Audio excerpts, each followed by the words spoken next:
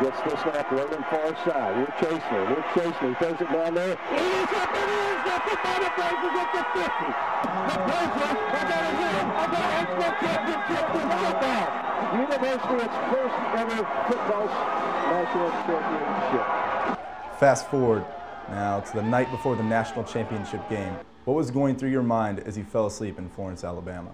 Uh, we were just ready to go out there and play. You don't get the opportunity to compete for a national title um, a whole lot. And, and, we didn't want this one to pass us by. We were much more relaxed than we were in 2002.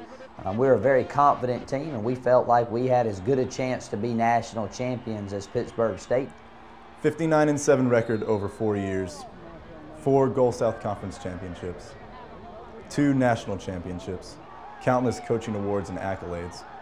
In 20 years, when people look at your tenure here at Valdosta State, what is the defining characteristic of the Chris Hatcher era?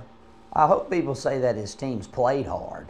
I hope that um, when people look back, they can say, hey, one thing about Chris Hatcher and his teams, they had a lot of fun, but more importantly, they gave 100% every time they stepped foot on that football field.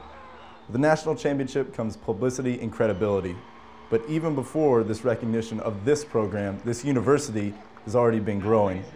Has that growth created a sense of urgency? Valdosta State, um, in my opinion, is second to nobody.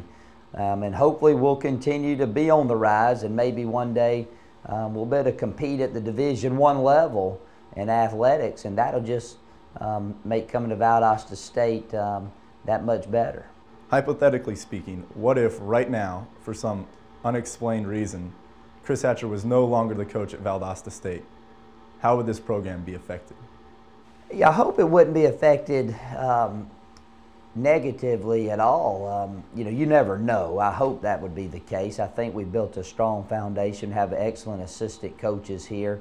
I'm sure someone could step right in and, and take over where I've left off. And, and we've built uh, a groundwork of, of, an attitude, if you will, on our football team to, just to be able to find a way through any type of adversity that comes your way.